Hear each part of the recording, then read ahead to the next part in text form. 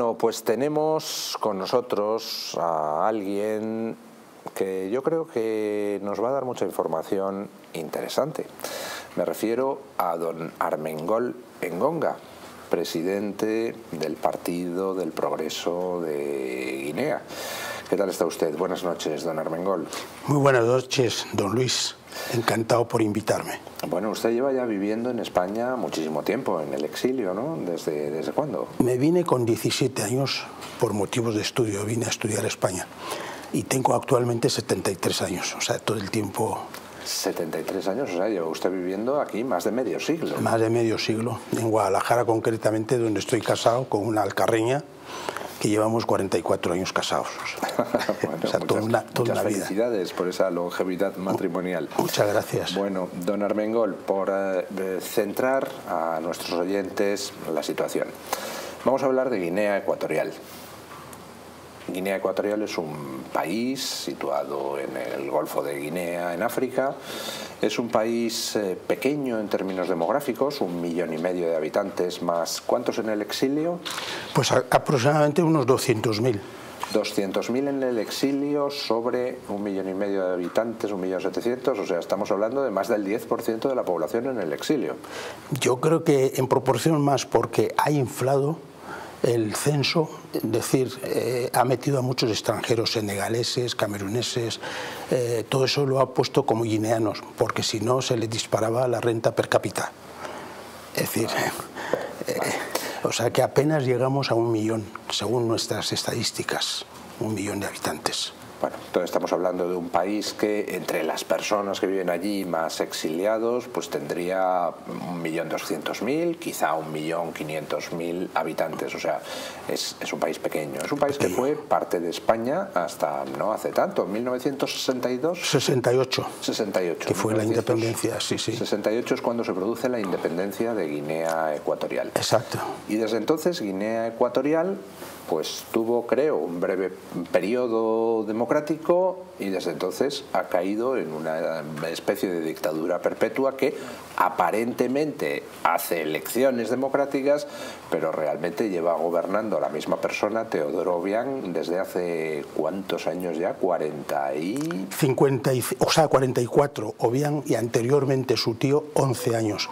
O sea que desde la independencia hasta aquí siempre hemos conocido dictaduras, dos dictaduras. Dos dictaduras. ¿No hubo ningún interludio democrático al principio? O sea, fue independencia y caer en la dictadura y después en la dictadura del sobrino del anterior dictador. Exacto, pues me lo pone, me centra el balón porque precisamente me gusta hablar de, aunque sea brevemente, alguna pincelada sobre el pasado. Es decir, España desde 1778 eh, aquello pues poco a poco lo va desarrollando, pero a partir de la década de los 40, en el 44 pone una escuela eh, superior indígena eh, para formación de maestros, maestros de primera enseñanza, de segunda enseñanza y administrativos, auxiliares administrativos. Entonces toda, toda la gente que salían de esa escuela inmediatamente se incorporaban como funcionarios del Estado. Entonces, pues España necesitaba formar gente para aquella administración. Entonces, pues todo sigue evolucionando. En 1959 se convierte en provincias de ultramar.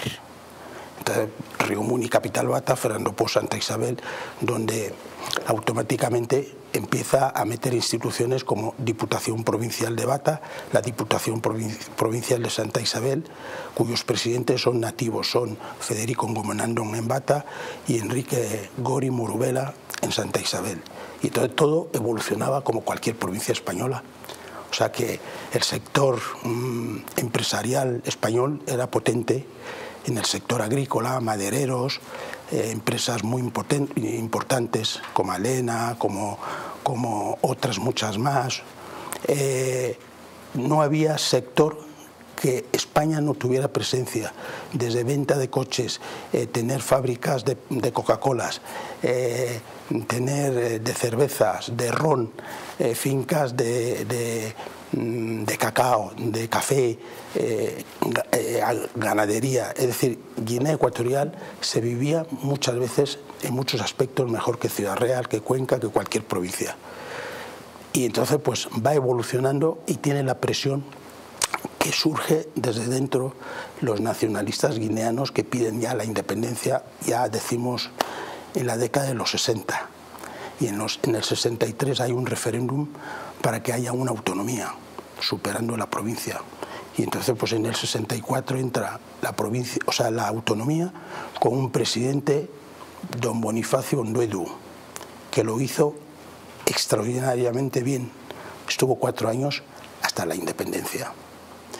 Y entonces, pues a partir de ahí, creo que entre unos y otros, entre los guineanos por un lado y, la administración de entonces, de la época, la pifiaron. Es decir, lo que fue mm, un desarrollo, sobre todo los últimos 20 años, eh, a, nivel de enseñanza, a nivel de sanidad, el mejor hospital de toda África se inauguró en 1965 en, en Bata, con todas las especialidades y, yo me acuerdo muchos cirujanos llegaban los jueves y volvían los sábados de Madrid. Y entonces, pues, en la educación teníamos el colegio La Salle, donde estudié, que era el mejor colegio que estaba ahí. Estaba la escuela de capacitación agraria, estaban, digamos, eh, eh, eh, la formación profesional que había Mm, de, muchas ramas, o sea que desde albañiles, mecánicos, mm, camareros, etcétera, etcétera. Bueno, pues esa era, digamos, la Guinea sin tener petróleo. Y entonces, dio... Luego, luego hablaremos del petróleo. Entonces, Guinea era una provincia española y además una provincia donde el gobierno pues, eh, invertía para desarrollar aquello. Llega la independencia y entonces Guinea cae en la dictadura de la familia Obiang y durante muchísimo tiempo pues ha sido un país pues que no progresó que se quedó estancado en el día de la independencia era un país que tampoco era rico eh, y con una dictadura que evitaba cualquier tipo de apertura democrática y efectivamente de repente se descubre petróleo sí. en Guinea que fue aproximadamente 1900... En la década de los 90. 93 o 4, creo. Sí, sí. Y entonces, de repente, ese país chiquitito, donde el español sigue siendo el idioma oficial, ¿no? Eh, ese país chiquitito de millón y pico de habitantes se encuentra con que en sus costas tiene una riqueza petrolífera, unas bolsas de petróleo increíbles. Inmensa. Con lo cual pues oiga, ¿qué país no querría eso? De repente encuentras una riqueza inmensa petrolífera y lo que pasa es que esa riqueza, en lugar de emplearse en desarrollar el país y en beneficiar al pueblo, pues no se sabe dónde está, ¿no? Pues porque cae en malas manos. Es decir, para dirigir un país, mm, un gobernante tiene que solucionar los problemas de un país, no crearlos. Entonces, el primer presidente Macías, Francisco Macías, pues eh, tiene el apoyo de los países comunistas, con Corea del Norte, que manda a su hijo, con Cuba, con China, etc. Y entonces, pues a partir de allí emprende una campaña contra la oposición que había entonces. Mata a Bonifacio Nduedu, como, como no ganó, el que fue presidente de la, de la autonomía, le mata en la cárcel. Eh, persigue a Atanasio Don Villó, que fue apoyado mm, por Castilla, el ministro de Exteriores de entonces, o sea que cada candidato tenía un apoyo de una parte de España. O sea, pues, Bonifacio Unredú pues le apoyó Carlos Blanco. Bueno, entonces pues Macías limpia el camino, mm, se carga la oposición y entonces se autoproclama eh, presidente vitalicio y entonces persigue a la Iglesia persigue a los intelectuales, eh, obliga a los funcionarios, altos funcionarios, gente que estaban preparada, o sea, que eh, cambiar de nombre, o sea, que el nombre católico tenían que quitarlo y quedarse con, con el nombre africano. Y decía que tenía que africanizar eso persigue a los empresarios españoles. Hay una campaña porque hay todavía eh, contingente de la Guardia Civil está ahí. Bueno, pues en 1900 71, 72 se ven obligados a tener que eh, plegarse y entonces pues desde Madrid le dicen que se tienen que venir todas las Fuerzas Armadas españolas. bueno, pues aquello se queda a su suerte. Y entonces, pues, eh, dura durante 11 años. Hay un exilio, en un, en un primer momento salen más de 100.000 guineanos, sobre todo gente preparada. Entonces, pues, el sitio mayoritario donde hay exilio es Gabón, porque hacemos frontera en el este y en el sur, este y sur. Y luego Camerún. Y lógicamente el otro sitio mm, natural es España, venimos a España. Otros muchos se fueron, minoritarios, se fueron a Estados Unidos, Francia, Nigeria. Entonces eh, el exilio se, mm, se esparció por ahí, por todas partes. Y entonces, pues en el 79, Teodoro Bian, su sobrino, da un golpe de Estado, que por cierto... Contra su propio tío. Su propio tío, era el jefe de cárcel y era eh, el jefe de seguridad de todo hablan de que la mayoría de las muertes mm, sin explicación, extrajudiciales, pues corrían a cargo de, Teodoro Bian y ahí iba preparando el camino. O sea, antes de ir a por su tío fue eliminando competencia, o sea, mm, sacerdotes, eh, médicos, abogados, profesionales, empresarios de éxito, pues porque Guinea Ecuatorial había alcanzado con una clase media notable en el sector económico, en el sector eh, intelectual, o sea, que cultural, etc. Y bueno, pues, pues había cines, había de todo. Y de ahí hay un apagón. O sea, es como partir de cero otra vez. Y entonces, pues los primeros momentos, pues parecía que era bueno. Eso parecía. Que había acabado con la dictadura de Macías, con lo cual, pues quizá ahora vayan las cosas bien. Exacto. Cuando el pueblo guineano observa eh, que la mayoría de los, eh, los, los, que maltrataban al pueblo, la gente que violaban sistemáticamente los derechos humanos, pues que se habían escapado a Gabón con, con eh, la incertidumbre que se produjo por, la, por el golpe de Estado, que Obiang los traía de Gabón, los recuperaba otra vez a todos los maltratadores, bueno, pues ya la gente dijo... Pues, Perdió la esperanza, dijo, exacto. simplemente hemos cambiado de dictador. Y apostó por, eh, porque estaban allí los rusos, eh, el puerto de San Carlos, actualmente Luba, en la isla, pues es un puerto que cogieron los rusos para reparar barcos. y a partir de ahí, pues él estaba dudando si eh, tirar por Occidente o, con, los rusos. Bueno, pues decidió definitivamente ir con, con Estados Unidos, con la Unión Europea, etc. Y últimamente, pasado 44 años, quiere volver a cambiar a Rusia. Vamos por partes. Eh, efectivamente, Obiang se aleja del régimen soviético eh, al que se había acercado su tío y digamos que se sitúa en una posición más pro-occidental.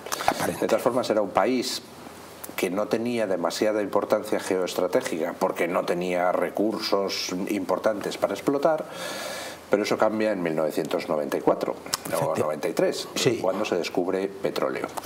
Hasta ese momento, hasta hacía poco tiempo, el país importante verdaderamente era Gabón, que está situado al sur de, Guinea. sur y este, sí, sí, sí. Un país con unas riquezas petrolíferas inmensas, pero que se habían ido agotando. Mm. Y era un país que estaba en la órbita de Francia. Curiosamente, la capital de Gabón era, no, Gabón era el país del mundo hace 25 años, 30, con mayor consumo de champán francés per cápita, ¿no? Sí, sí, sí, Gracias al petróleo que extraía, eh, era Omar Bongo, el, Omar Bongo, sí, eh, de Gabón, ¿no? Bueno, era un país pro-occidental, concretamente en la órbita francesa, y era el país importante. Pero al agotarse las reservas petrolíferas empezó a perder importancia. ¿Y quién la ganó? Guinea Ecuatorial, que descubre en sus costas unos yacimientos inmensos de petróleo. Y a partir de ese momento pues eh, Teodoro Obiang, yo creo que actuando astutamente, eh, empezó a dar concesiones petrolíferas a empresas americanas, empresas francesas, también alguna migajilla a los chinos, no sé si rusos eh, le ha dado algo, creo que no. No, los rusos no. Y entonces ha sido pues un país que eh, mientras que antes de descubrirse el petróleo la comunidad occidental pues le tenía sometido a vigilancia por las violaciones de derechos humanos, fue descubrirse el petróleo y bueno, ya digamos que en fin, no vamos a ser tan estrictos con Guinea Ecuatorial, pero seguía siendo una dictadura, eso sí, una dictadura con mucho petróleo. Exacto. El petróleo lo ha eh, vendido, eh, lógicamente, la explotación del petróleo le ha dado al gobierno guineano una gran cantidad de dinero, ¿Se ha reflejado en la población ese dinero? ¿La, población ha visto que se eleve su nivel de vida gracias al petróleo? Por supuesto que no. Eh, hay un, un detalle Guinea Ecuatorial tiene más mar que Gabón, que Camerún, porque en el Tratado de 1901, en París, los franceses, con Escuadra y Cartabón, dividieron, eh, esa, llegaron a un acuerdo porque estaban a, un lado, por el río Campo, Camerún, que estaban los alemanes y los franceses, y por el otro lado estaba Libreville, Gabón, eh, los franceses. Y entonces, pues, Guinea tenía entonces más de 300.000 kilómetros cuadrados. O sea, los españoles tenían esa, esa cantidad. Bueno, pues cogen ellos y le, se quedan, le roban la tierra y se lo compensan con el mar. Y pasa el tiempo, resulta que todo el petróleo está en el mar. la paradoja de la vida. Las paradojas de la vida, sí, señor. Sí, sí. Y, entonces, pues sí, quiere decirse que luego al final se ha, se ha, convertido en el, en el sitio más importante para la explotación de hidrocarburos, porque también está el gas en el mar. ¿Y ese dinero está llegando a la población? No, porque ha hecho una ley que nadie eh, sepa mm, qué producciones hay. Eh, eh, normalmente, pues cada pozo, que son 200 metros cuadrados, bueno, pues las extracciones que hacen, la producción no lo sabe más que él.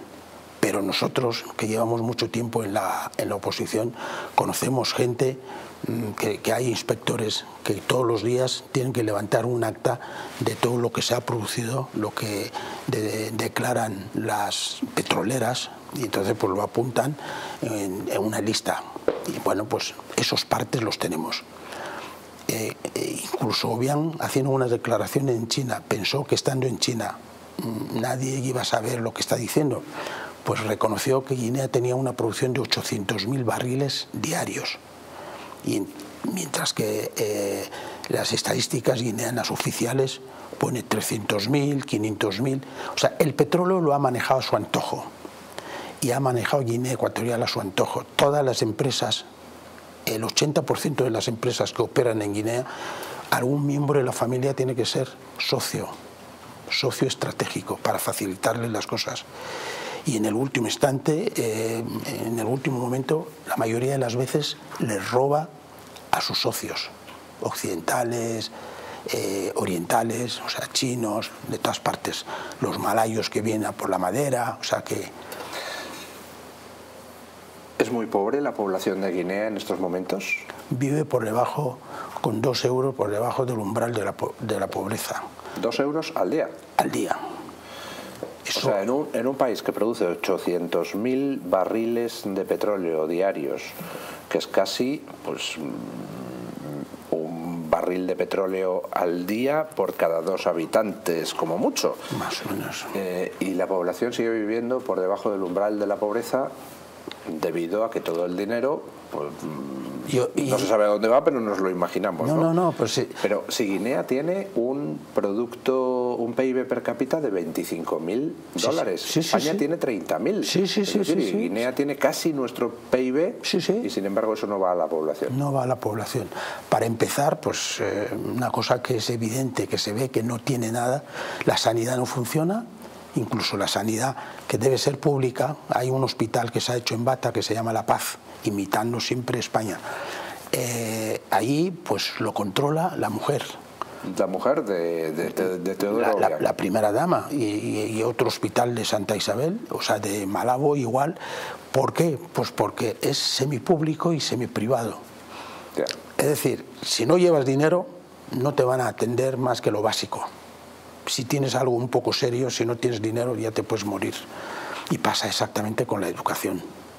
La educación que siempre hemos estudiado con beca toda la vida y la infraestructura que dejó de educación España fue espectacular, de las mejores. Es decir, que había mm, profesores que se, se, preparaban todos los años, había ya una escuela de magisterio, cada año iba increciendo en, en tener, mm, digamos, infraestructuras de todo tipo y más kilómetros de carretera, más agricultores, eh, más capacidad, teníamos los guineanos capacidad adquisitiva para, para, comprar, para sacar las familias adelante. Y bueno, pues todo eso, eh, a pesar del petróleo, yo hago siempre una comparativa. Desde 1968 para atrás, vamos a poner hasta 1960, 60, 68, esos ocho años son infinitamente diez veces mejor que lo que pueden vivir los ciudadanos hoy en Guinea Ecuatorial con el petróleo. Eh, bueno, Guinea tiene un dictador desde hace 44, mm, 44 años. Eh, ¿Y qué esperanza le queda a los guineanos? Bueno, pues eh, le queda a los guineanos como, como yo, por ejemplo, soy un ejemplo de ello, llevo en política desde 1984, es decir, cuando estaba Felipe González en el poder. Recuerdo entonces, pues cada vez que nos recibía, entonces nos recibían en el Ministerio de Asuntos eh, Exteriores, hablaba con, pues, con Moratinos, con, con, el director de, África y Medio Oriente de, de turno, y, y, le presionaban, en esa época efectivamente le presionaban a Obiang, porque su presupuesto dependía de la cooperación había una cooperación española de 2.000 millones. Esos 2.000 millones, más lo que le aportaba Francia, le aportaban otros países y cubría su presupuesto. Entonces, pues de alguna forma le condicionaba. Llegado la década de los 90, cuando he dicho 90, 91, 93, que hemos hablado antes, pues hubo una correlación de fuerza, ya cambió la, las tornas. Entonces eran eh, los españoles, los franceses y todo el mundo los que iban a ver a Obiang, a ver qué negocio se podía hacer. Y entonces empezó a crear una red clientelar y de ayudas y tal. Y entonces pues cada elección que sacaba Obiang haciendo trampas, todo el mundo lo sabía, eh, con, con, pruebas manifiestas y patentes, pues, pues todo el mundo miraba para otro lado. Lo que sí pasa que todo evoluciona en la vida. Y entonces, pasado 44 años, la situación es caótica.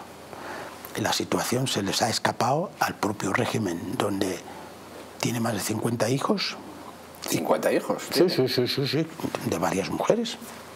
O sea, siendo cristiano, en teoría, pues que no debería tener eso, en fin, pero eh, actúa como un musulmán. Y entonces, pues eh, tiene más de 50 hijos. Y entonces cada hijo está en alguna institución. Cuando no es la directora del banco, es la jefa de puertos, es la jefa de policía, es el jefe de tal, el otro, pues eh, uno de los hijos es el vicepresidente mm, que aspira a sucederle. Había otro que estuvo durante como 20 años ministro de hidrocarburos, Gabriel. ¿Y cómo se pone fin a eso? ¿Qué esperanza tienen los guineanos? Pues lo que hemos hecho cuando se tiene un problema hay que ver eh, cuál es la raíz del problema y ir a la raíz, la etiología que suele haber en, medicina. O sea que si es un hongo, si es una bacteria, sabiendo que es eh, lo que has detectado, pues siempre hay un, un, tratamiento. La propia comunidad internacional que le ha mantenido en el poder, pues es la que en el 2022, hace dos años, hubo las últimas elecciones. Las hizo tres a la vez, legislativas, municipales y presidenciales, eh, que en la propia constitución guineana no permite esas tres, si acaso dos, legislativas y municipales. Bueno, pues él ni corto ni perezoso, porque había pactado que en el 2016 hubo unas elecciones y se comprometió con Estados Unidos, sobre todo, de que no volvería a concurrir, no volvería a presentarse. Y entonces pues se volvió a presentar intentando mm, poner el PAC, como diciendo, aquí eh, esto voy a colarlo. Y no ha colado, entonces pues no le han reconocido por primera vez estas elecciones. O sea que desde el 2022, que fue en noviembre, hasta aquí es un ocupa del poder. ¿Cuántos años tiene Obiang? 82 años. 82 años, con lo cual lo que me está usted diciendo es que las potencias occidentales se están haciendo la composición de lugar de en cuanto muera, esto se puede convertir en un polvorín, por tanto hay que buscar una salida. Exacto. en esa salida, eh, todos los contactos que hemos tenido, yo me acuerdo, en el 2016 estuve en Washington con las instituciones americanas, o sea que nosotros nos hemos movido muchísimo. Y el 7 de julio del año pasado estuvimos en Bruselas, estuvimos en un seminario y, nos decían y nos reconocían que Estados Unidos efectivamente está buscando una alternativa seria, una alternativa que aglutine eh, mm, eh, políticamente a, todas las fuerzas, a todas las fuerzas para hacer una transición política. A todas las fuerzas de oposición. De oposición, exacto. ¿Cuántas fuerzas de oposición hay? Usted dirige el Partido del Progreso de Guinea, que es un partido, digamos, de tendencia centro-derecha. Nosotros, sí, nosotros estamos en la misma internacional que el PPE, eh, con, somos democristianos. Ajá. ¿Y qué otros partidos hay? Hay otros partidos eh, de, de corte socialista, de corte marxista, o sea que hay como 15 partidos más o menos. ¿Cuál es el más importante en la oposición? Bueno, pues es que eh, tampoco lo puedo decir yo. tampoco hay elecciones en la oposición para poder ver Para medirlo, exacto. O sea, que yo puedo decir fulanito y me puede preguntar, pero bueno, eh, ¿en función de qué? Usted el año pasado hacía declaraciones un tanto optimistas diciendo que la comunidad internacional le iba a exigir a Obiang que abandonara el poder antes del 1 de enero de 2024, pero mm. estamos ya a 21 de enero de 2024 y todavía no se ha producido no, eso. No, pero me mantengo. Es decir, esto no es una, no es una lotería, es en base a la información. Eh, que, se, que se haya eh, retrasado un poco, pero están en ello. Es decir, hay un trabajo de la comunidad internacional. De hecho, es que aquí en la Audiencia Nacional, bueno, pues un hijo de Obiang está decretado para busca y captura, en busca y captura. Está, que lo lleva el juez Pedraz, ¿no? Lo lleva el juez Pedraz, exacto. Es más, últimamente hablando del juez Pedraz, intentó eh, eh, quitarse del medio y entonces pues eh, pasando el asunto a Guinea Ecuatorial. La propia audiencia le ha corregido y ha dicho no, no, la audiencia se mantiene en los términos que se está, se está trabajando este asunto. Bueno, pues y la Unión Europea, que tengo contactos permanentes, igual, y Estados Unidos exactamente igual. Eso significa que la comunidad internacional a corto plazo quiere una solución en Guinea y va a haber una solución en Guinea Ecuatorial. Hemos visto que la comunidad internacional ha mm, intervenido, no en Guinea, pero sí en el país de al lado, que es Gabón. Eh, se, pues, se, está produciendo dentro de toda esa ese área de países africanos pues una lucha geopolítica, una lucha geoestratégica muy dura, pero muy apasionante desde el punto de vista político, porque eh, los rusos están ampliando su influencia en los países al norte de, Guinea, mm. cada vez en más países. Se produjo un golpe de Estado en Níger, que era mm. precisamente para quitar a Níger de la órbita francesa y pasarlo a la órbita rusa. Y como consecuencia hubo un golpe de Estado eh, al poco tiempo en Gabón, el país al sur de Guinea, eh, golpe de Estado que este no estaba patrocinado por los rusos, sino por Occidente, que lo que hizo fue animar a que los eh, militares depusieran al gobierno, acusando al gobierno de haber trampeado con las elecciones. Es decir, hubo una especie de contragolpe militar a un golpe institucional que habría dado el gobierno de Gabón, Exacto. Eh, básicamente pues, para evitar que cayera Gabón en la órbita en la órbita rusa también. Con lo cual, imagino que lo que está pasando en Guinea es precisamente que existe ese miedo de que a la muerte de Obiang mm, la situación sea inmanejable y se haga con el poder alguna facción prorrusa, con lo cual deduzco que efectivamente intervendrán los países occidentales. Correcto. Pero ¿Existe la base para poder hacer una transición a la democracia en Guinea? Porque mm, si toda la gente mm, preparada se ha ido al exilio, si todo lo controla la familia Obiang, todas las empresas, va a ser muy complicado poder hacer esa transición, ¿o no? No. Mm, todo el problema de África radica en África Central, es donde está todo el problema. Evidentemente, pues África Central, que está Congo-Brazzaville, eh, está eh, la República Centroafricana, está Camerún, está Gabón, está Guinea Ecuatorial, está Angola, eh, probablemente me deje alguno. Eso es África Central. Y África Central es donde están las peores dictaduras más longevas. Es decir, que Obiang es el, ahora mismo el más longevo de los dictadores del mundo y concretamente de África. Y el de Camerún, Paul Biya, pues también ya lleva su, tiempo, o sea, lleva 35, 36, con achaques de salud, igual que Obiang, que tiene varias patologías, etcétera, eh, con temas de salud. Y entonces todo eso parece que se quiere poner en orden precisamente en la nueva correlación de fuerza internacional. O sea, que precisamente los Wagner, que estuvieron en, en, en Centroáfrica, lo han neutralizado Estados Unidos. En Níger, está un contingente de Estados Unidos con 1.200 eh, marines y con un pequeño contingente de, base. Eh, en el Congo, Congo belga, pues también hay una base de la OTAN. O sea, en Gabón hay una base española de, militares pequeño, pero mm, apoyando Mm, las fuerzas de la OTAN. O sea, todo eso, la OTAN es el que está controlando.